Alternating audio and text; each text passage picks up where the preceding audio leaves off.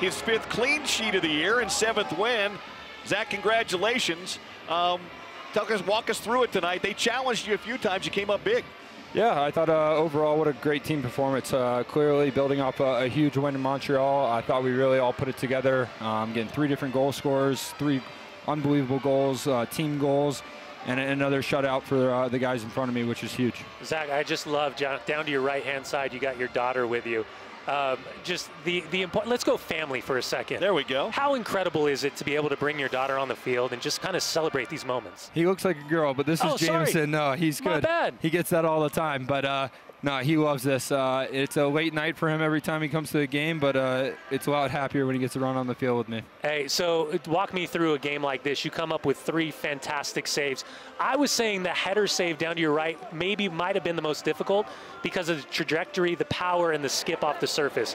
Which one was the big one for you tonight? Yeah, that one sticks out. Um, you know, it's just you never know when it comes off a guy's head which way it's going. You really have to stay balanced, and uh, thankfully I stay balanced and got a good push off it.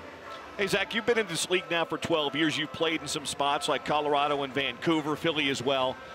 What do you make of both the locker room you're part of right now and the chemistry and the cohesion on this team, but also the 12th man here in the atmosphere, six straight sellouts now at Rio Tinto? Yeah, the fans bring everything, uh, and we know that. And I think other teams coming to play here know that as well. Uh, this is going to be a very hard place to play this year, especially with the team that we have, the mentality that we have, the togetherness that I think we feel not just in the team and the locker room, but the sense of community around the stadium as well.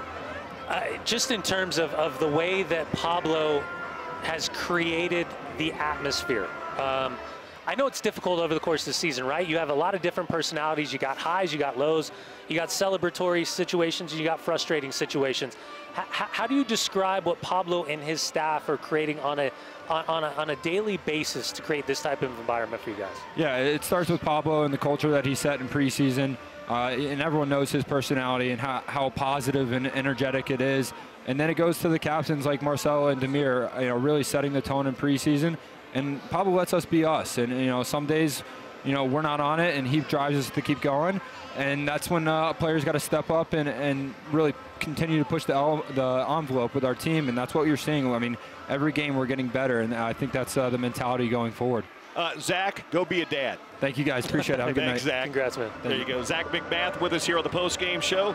He gets his fifth clean sheet of the night tonight. RSL's got 25 points in its first 14 matches. Wow, that matches the fastest club to uh, club.